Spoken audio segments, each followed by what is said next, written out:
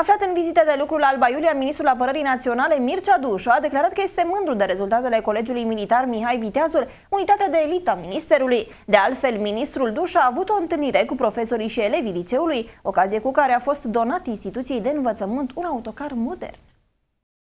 Ministrul Mircea Dușa a precizat că unități precum Colegiul Militar Mihai Viteazul trebuie susținute inclusiv bugetar pentru a se menține în elita unităților de învățământ din România. Eu sunt mândru că în municipiul Alba Iulia există o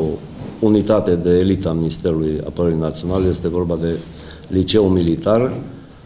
care prin uh, munca desfășurată de către cadrele de acolo, fie că sunt cadre militare, fie că sunt cadre civile, au făcut ca această instituție de învățământ preuniversitar să se claseze pe locul 2 în topul liceilor din uh, România. Că atunci când ai o instituție de asemenea nivel, trebuie sprijinită ca să se mențină și de ce nu, așa cum le uram aseară, anul acesta să se claseze chiar pe locul 1 în ceea ce privește procentul de promovabilitate și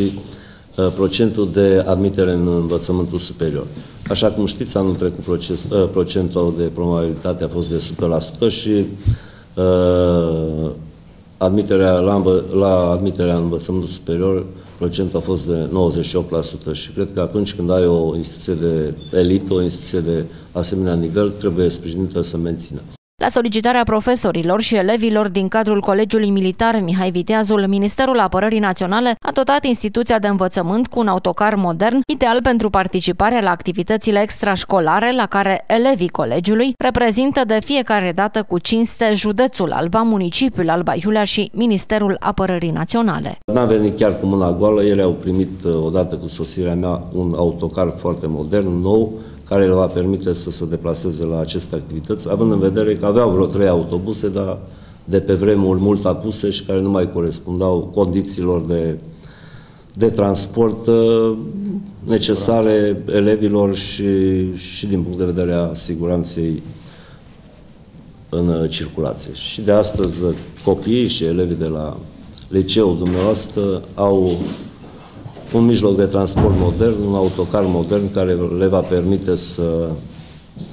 să se deplaseze la activitățile pe care le desfășoară. Elevii Colegiului Mihai Viteazul Alba Iulia provin din 30 de județe ale țării, cei mai mulți fiind din Gorj și Alba. Interesant este că peste 58% din elevi vin din mediul rural.